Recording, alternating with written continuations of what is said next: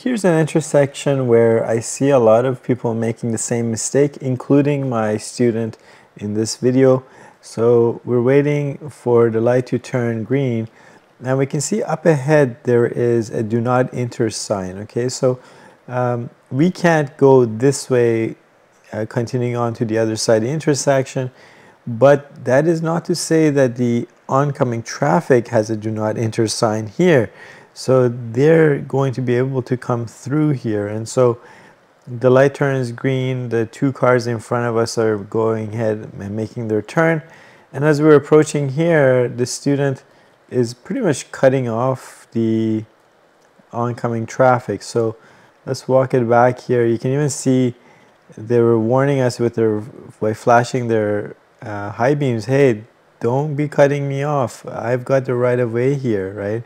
So instead, what the student should have done is gone into their waiting position here, right? Uh, so about here, um, because normally I tell students, okay, back wheels in the middle of the crosswalk, but this is a bit of a skewed intersection. So this car will have to come in and go more or less like this.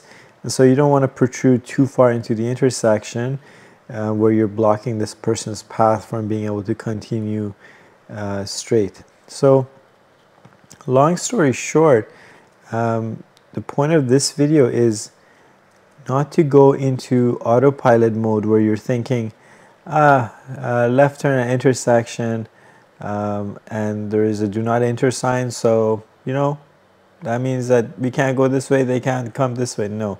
Uh, we can't go this way because they've put this median here. Um, they've kind of just restricted access for the cyclists only. And so we still have to check for oncoming traffic so that we're not cutting them off. I'm glad that they're paying attention and um, you know, I could see them coming in, but sometimes you just have to let students experience it firsthand to realize, hey, that is a bit of a risky maneuver. Okay, so if they were any closer, I would have probably braked um, and not let them proceed. But in this case, we were uh, moving slow and they were kind of moving slow as well. Sometimes it's to learn, it's better to learn from a first-hand mistake.